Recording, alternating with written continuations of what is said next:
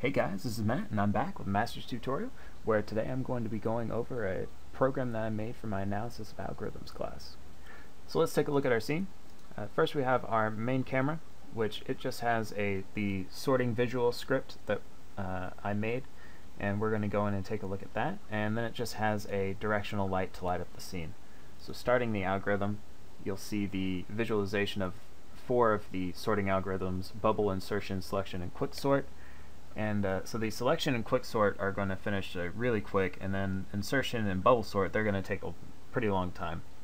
And oh, it looks like uh, quicksort got a pretty bad partition at the start, so it's going to take a while too. Alright, so looking at these public variables, uh, we have a speed here. So the smaller, this controls the steps. So the smaller the step size is, the faster the algorithm is going to run. So you can change that and that's about as fast as it can go. And then you have uh, the bar, and this is just a cube, and it's these lines here. And then you also have these uh, texts, 3D text, and all those are these labels over here. So, uh, we're not going to wait for this. This is still going to take a while. So let's go and take a look at uh, our script.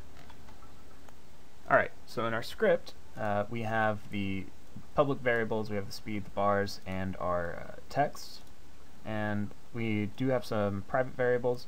We have uh, an integer array of numbers, and these are going to be the random numbers that get sorted. And then we also have a game object array of bars. These are just the, the cubes that uh, do the visualization.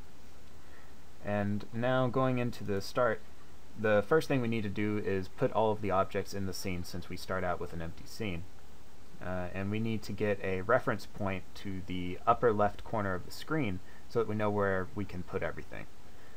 Uh, here's the what's doing that. So we do a screen to world point and we give it a screen position of 0 so it's going to be the upper left of the screen and then put that into a unity position and that's what this left screen edge is.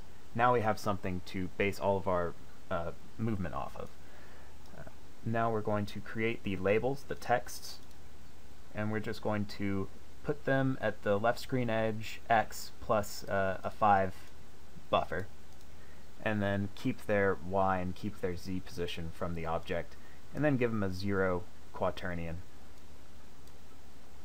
Uh, now we need to make our random numbers and then also make the lists of cubes. Here we uh, so we have the for loop going from 0 to 100, which is the same as our array size. And we're just going to go over the bubble, bubble sort arrays here. Uh, first we populate the random number array with the Unity Engine random range from 1 to 11, which doesn't include 11, so it's 1 to 10. And then we're going to make our cube, which is just the bar. So we give it the bar, give it the left screen position plus 40 as a buffer. And then the we're going to add 1.5 times the number of bar it is. So this is the space between each each of the bars. And then just uh, y minus 2 and keep the original z value.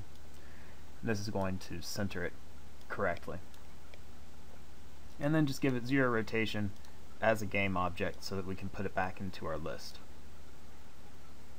And right after that we need to scale the size of this cube so that it is bigger depending on what random number it's going to be representing. Here we take our cube and we're going to transform the local scale.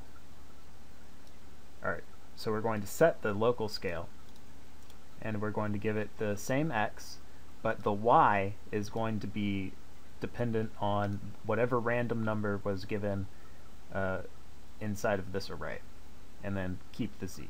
So that's as easy as, as, as it is to uh, just show how how much bigger it is and uh, what's being sorted. And then just put that cube back into the uh, array and now you have your array of bars. Now all you have to do, so you have to continue that for the other sorting algorithms. Now you just have to start your coroutines so the all of the sorts get started and uh, it's just your standard coroutine. So whenever let's see, selection sort. So whenever I decided to do a yield every time it does a compare. So whenever in the method, you know, selection sort, quick sort, insertion, or bubble sort, whenever it does a compare, then I'm going to do a yield, and then I'm going to yield for however many seconds the speed is for each one of those. And these algorithms, I just got, uh, most of them I just got off of Wikipedia and then adapted the, the code, pseudocode into C Sharp. There's also a count sort that I did, but uh, that was for a different part of the same project that couldn't really be visualized just uh, based off of how count sort works. But that's still in there. And now we need to continually update the positions and sizes of our bars. So each each update we're going to just go through our list of 0 to 100 and then do the same kind of transform that we did up here. So you take the local scale, you're going to set it, keep the bars x scale, except the y scale is going to be dependent on the new random number that's inside of that sort. And then also the coroutines were given those arrays. So they're manipulating in place the values of these arrays. That way you don't have to, you know, keep track of of a secondary array that gets created by it. It's all done in place. And that's as simple as it is. So pretty easy.